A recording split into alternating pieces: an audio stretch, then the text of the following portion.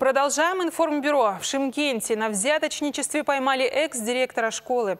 Уволенная руководительница продолжала занимать свой кабинет и собирать дань. Ее уличили при получении 500 тысяч тенге за трудоустройство учителя. Самые коррупционные структуры в Шимкенте назвал сегодня глава антикоррупционной службы города. В Южном мегаполисе лидируют взяточники из числа полицейских, специалистов отдела земельных отношений и учителей.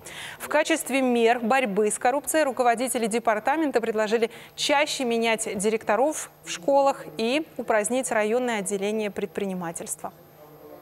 Важно отметить, что никто из районных акимов так и не был привлечен к дисциплинарной ответственности – Всю вину возложили на своих замов и руководителей аппарата. По-прежнему поступает информация о существовании стихийного рынка и стихийных точек на верхнем рынке.